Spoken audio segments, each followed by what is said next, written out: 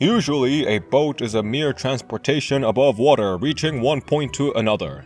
Usually. But this is the constant we are talking about, and in this world there are techniques, uses, or random stupid shenanigans that apply and still make total sense.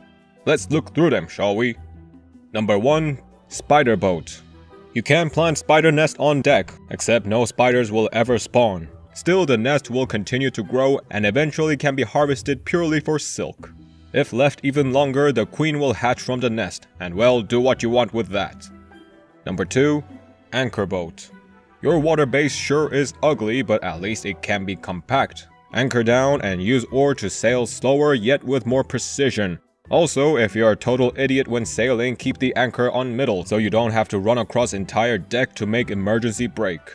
Number 3. Leafy Boat Not the best source of food, but meat bulb can be planted for leafy meat farm without pesky eyeballs biting at your ankle.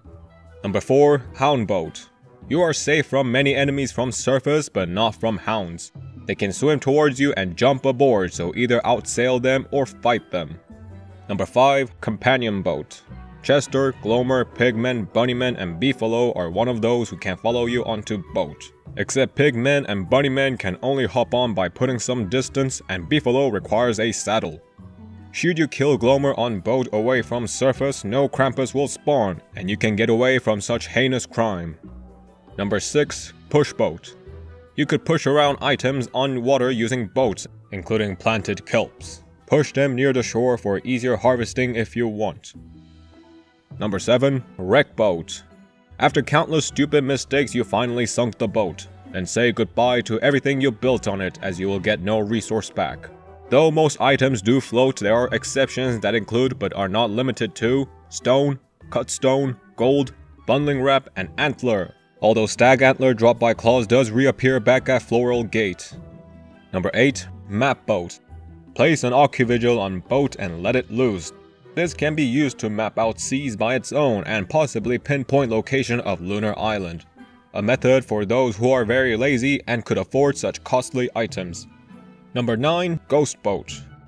Rather extreme but you could kill yourself to float around the ocean. Long as you are aware of your bearings, this could be one method to scout the waters for Lunar Island.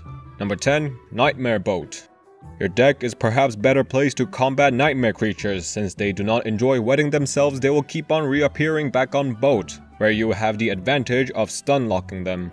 Number 11. Tentacle Boat.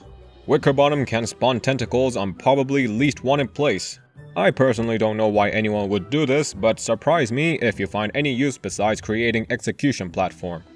Glitch section. These may be patched later, but until then, try not to recreate these. A captain goes down with the ship, but don't try this as a were beaver. As you can see, there will be no progress whatsoever. Do not fall asleep or get attacked by Charlie upon getting on or off the boat, as it results in serious movement glitch. Even if you somehow relocate yourself, you will be constantly sliding back to where you came from. Whatever you do, avoid building Bee Box on boat. Not only it becomes useless, but when it is set on fire, the result will be disaster. Then there is also interesting method to instantly kill many giants using the boat, which I will specify in this video. If you wish to witness the full power of a boat with 100 sails, take a look at this video like, share, and subscribe. And with that being said, cheers.